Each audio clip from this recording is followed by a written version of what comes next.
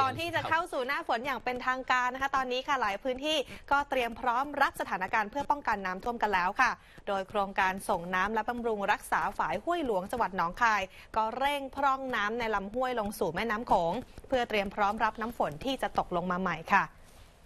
โครงการส่งน้ำและบำรุงรักษาฝายห้วยหลวง เปิดประตูระบายน้ำจำนวน 1 บานจากทั้งหมด 3 บานนะคะ เพื่อระบายน้ำในลำห้วยหลวงลงสู่แม่น้ำโขง หลังจากในช่วงที่ผ่านมาค่ะมีฝนตกต่อเนื่องทำให้น้ำในลำห้วย ซึ่งเป็นลำน้ำสาขาขนาดใหญ่ของแม่น้ำโขงเนี่ยมีปริมาณเพิ่มสูงขึ้น จึงต้องพร่องน้ำออกเพื่อเตรียมรองรับน้ำฝนที่จะตกมาใหม่ค่ะ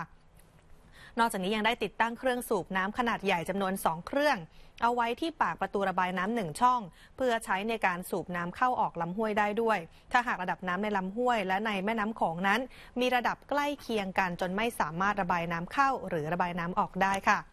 โดยวันนี้นะคะระดับน้ำในแม่น้ำโขงนั้นอยู่ที่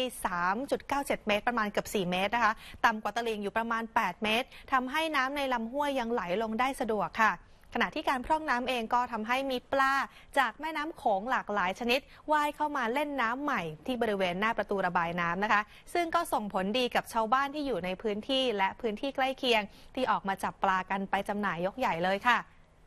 ขณะที่จังหวัดอุทัยธานี โดยกองบัญชาการป้องกันและบรรเทาสาธารณภัย จังหวัดอุทัยธานีก็ได้เร่งเตรียมความพร้อม ช่วยเหลือประชาชน และการจัดการปัญหาอุทกภัย ทั้งในด้านกำลังพล ยานพาหนะ วัสดุอุปกรณ์ของส่วนปฏิบัติการอย่างเช่น รถขนย้ายผู้ประสบอุทกภัย เรือท้องแบน แล้วก็รถประกอบอาหารของหน่วยทหาร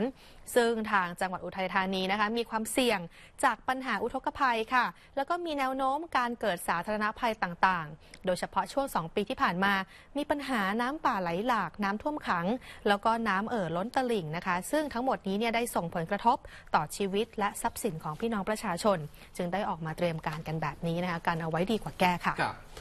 ก็ ใกล้แล้วนะครับที่จะเข้าสู่ฤดูฝนนะครับ เดี๋ยวรอทางกรมอุตุนิยมวิทยาประกาศออกมาก่อนนะครับแหมก็หลายคนบอกว่าไม่ต้องมาเร็วก็ได้นะครับอืมเพราะแค่นี้ก็น้ำก็เยอะแล้วนะครับค่ะ